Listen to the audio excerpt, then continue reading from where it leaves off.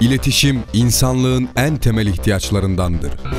Artık anlık habere ihtiyaç duyduğumuz bir dünyada yaşıyoruz.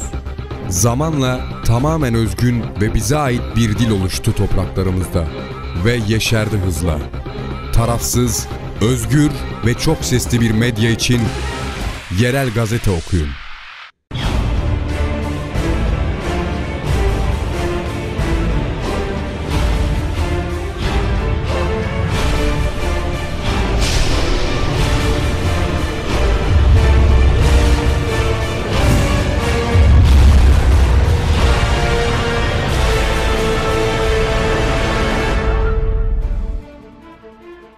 Mersin Gazetesi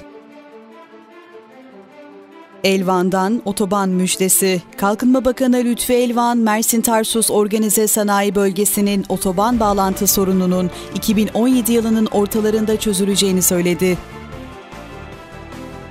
İfade özgürlüğü bir suç olarak görülmektedir. Baro'da gelişim grubu adına baro başkanlığı adaylığını açıklayan avukat Bilgin Yeşilboğaz, ifade özgürlüğü bir suç olarak görülmektedir dedi. Hakimiyet Gazetesi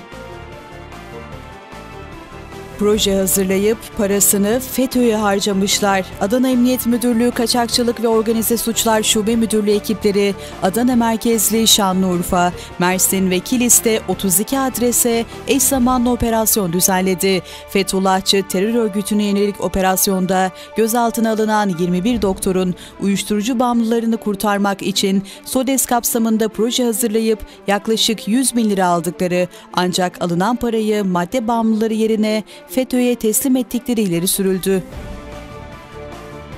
Polisin durdurduğu tırdan 35 at çıktı. Tarsus, Adana, Gaziantep otoyolu Mersin istikametine doğru giden bir tırın kasasında 35 at ele geçirildi. Atın sahibi olduğu ileri sürülen şahıs, Kars'tan Karataş'a atları satmaya getirdiğini, satış için izinli olduğunu söyleyerek belge gösterdi. Olay yerine gelen zabıta ekipleri inceleme yapılana kadar atlara el koydu. Olayla ilgili inceleme devam ederken at sahibi 40 yıldır çobanlara ve çiftçilere at sattığını, birkaç tane tane at kesen şahıslar tarafından böyle rezil edildiklerini söyledi. Haberci gazetesi anlamasını beklemiyoruz. CHP Mersin İl Başkanı Abdullah Özyiğit, Cumhurbaşkanı Tayyip Erdoğan'ın dile getirdiği 1920'de bize Sevri gösterdiler, 1923'te Lozan'a razı ettiler, birileri bize Lozan'ı zafer diye yutturmaya çalıştı sözlerine çok sert tepki gösterdi. Lozan Antlaşması'nın emperyalizme karşı kazanılmış büyük bir zafer olduğunu vurgulayan Özyiğit, Türkiye Cumhuriyeti'nin Cumhurbaşkanı sıfatını taşıyan şahıs, bağımsız bir ülke olmamızı sağlayan bir zaferi tanımaması akıl almaz bir durumdur dedi. Erdoğan'ın açıklamalarını gündem değiştirme çabası olarak yorumlayan Özyiğit, savaşmadan toprak kaybeden bir iktidar ve o iktidar anlayışından Lozan Barış Antlaşması'nın Kurtuluş Savaşı ruhunu anlamasını beklemiyoruz dedi. Mahsur kalan keçiler 4 gün sonra kurtarıldı. Erdemli ilçesinde dağlık alanda kurtlardan kaçtıkları tahmin edilen 12 keçi 4 gün boyunca uçurumda bulunan bir çukurda kurtarılmayı bekledi. Arama Kurtarma Derneği ve itfaiye ekiplerince kurtarılan keçiler sahiplerine teslim edildi. Güney Gazetesi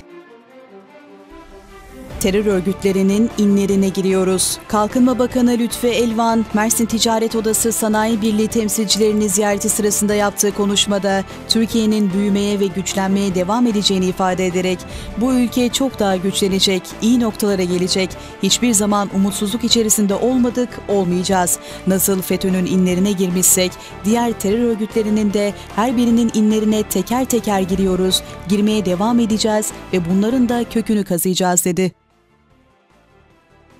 Mersin Turizm'de pilot bölge. Mersin'de turizm çeşitliliğini artırma yönelik projelerin hayata geçirilmesi hedefleniyor. Kültür ve Turizm Bakanı Nabi Avcı, Meditur 2016 kapsamında yaptığı açıklamada Mersin'in büyük bir turizm potansiyeline sahip olduğunu belirterek, turizmde özellikle pazar ve ürün çeşitlendirilmesi yaklaşımımızın en iyi örneklerinden birini Mersin'de bir pilot uygulama olarak gerçekleştireceğiz dedi.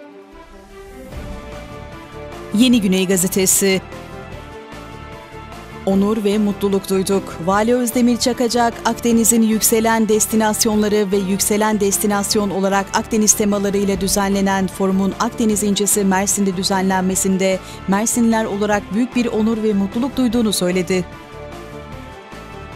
Su dünyasından 27 bin kişi yararlandı. Mezitli Belediyesi su dünyasını bu yaz yaklaşık 27 bin kişinin kullandığını açıkladı. 17 Haziran 2016-18 Eylül 2016 tarihleri arasında faaliyet gösteren su dünyasından 1660 şehit ve gazi yakını da ücretsiz olarak yararlandı.